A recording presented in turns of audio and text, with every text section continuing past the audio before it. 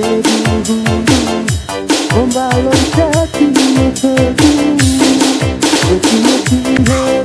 you.